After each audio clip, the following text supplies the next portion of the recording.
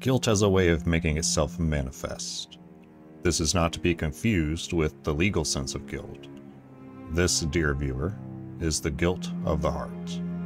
The inward pangs of regret, of transgression, of terrible deeds done. It is part of the world we live in, where guilt manifests in ways that cloud the mind, brings sorrow to the heart, and even pain.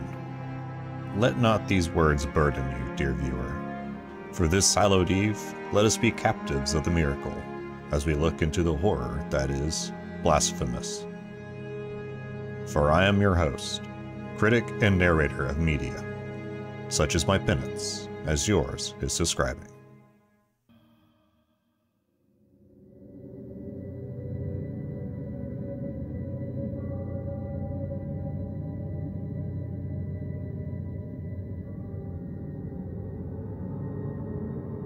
A woman in dark robes prays fervently as she grips a stone figure.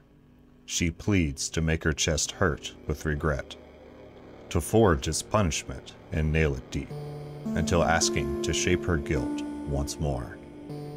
Without warning, she finds herself impaled. The small figure now a handle to a blade. As she lowers her arms in death, the body becomes stone. A deep violet adorns this act of contrition. For a brief moment, we see only part of someone grabbing hold of the blade. The scenes portrayed in this narration are only a glimpse into the twisted machinations of the miracle. I will give you a warning now before we continue. There will be dark themes, there will be sensitive topics touched on, and there will be blood. If this is too much for you, there are much lighter videos you might prefer down in the description below.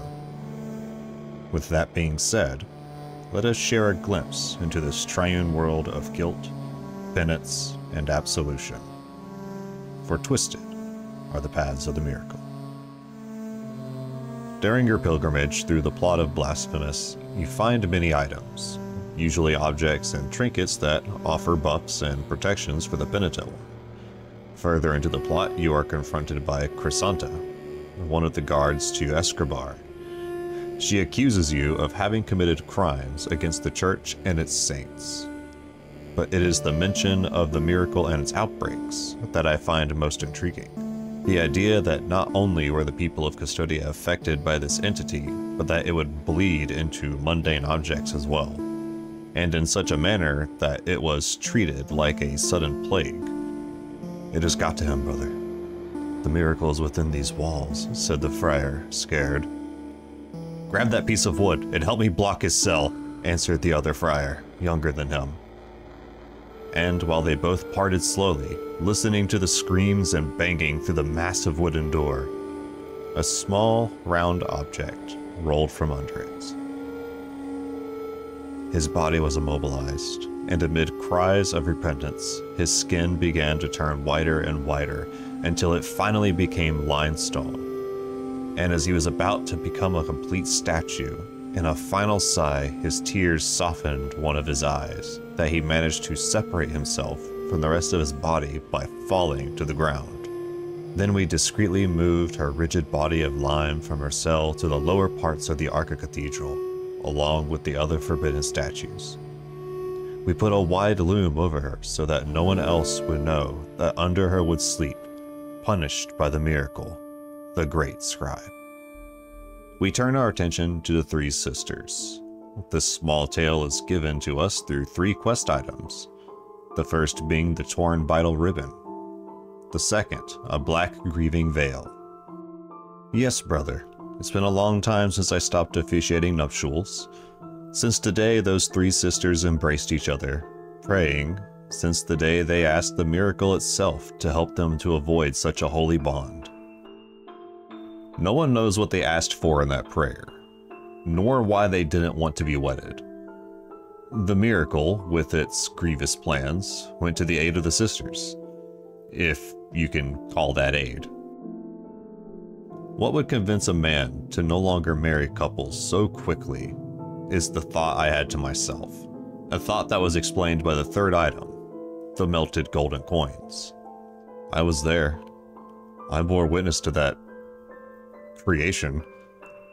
The hairs of the sisters grew and braided, wrapping around them, making a terrifying crunching noise until it covered them completely, shaping itself as an egg. An egg made of rough, knotty hair. The idea that this miracle would define grace as destroying three women inside of a gross egg made of their collective hair is wildly disgusting. And finding all three items, you can offer them to the massive egg of naughty hair. Three voices will make a rejection of their betrothed in relation to each item before hatching. These poor souls were forced into a single being, described as birthing a grievous miracle called Altasgracias. You are then given something described as immaculate, an egg of deformity. The grotesque being says to take it with you, for it is too late for these deformed bodies. Could you imagine praying for freedom from a wedding and getting the response of becoming a giant chimera of eggy hair?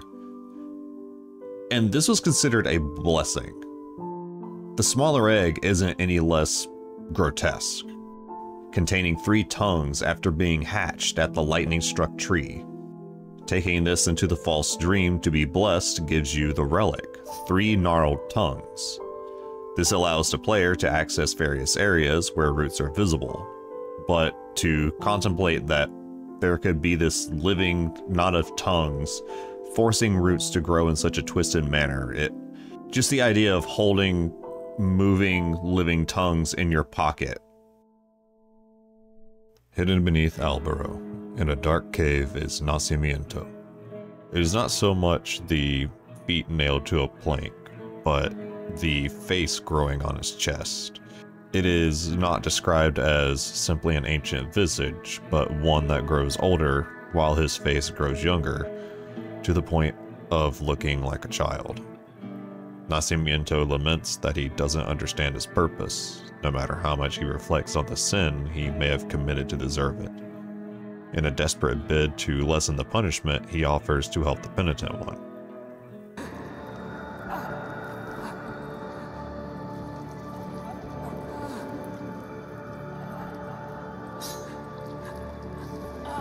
Helping does not lessen it, and eventually the old man starts birthing from Nacimiento an awful and excruciating visual of gross fluids and agony until the eventual death. I'm not sure how else to describe this interpretation of Nacimiento's torment other than fucked. I thought maybe it was just an endless loop of birthing himself, something related to the theme of repetition in the second ending. But I don't think it is. I think Nacimiento is on the receiving end of punishment for either having defiled a child or for planning to. The cautious way he emphasizes that no matter how much he reflects on the sins he may have committed. I I can't help but interpret the elderly visage as either the ill intent or denial of his actions being ever present. And as the visage begins to exit his body, the pain and agony of the childish face as the Ancient One forces his way through the body. It doesn't need to be spelled out to see what this could be insinuating.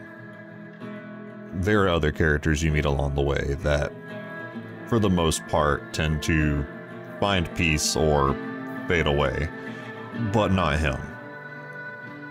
He is left here, nothing more than an empty husk of a defiled youth and the monster that now lies before it.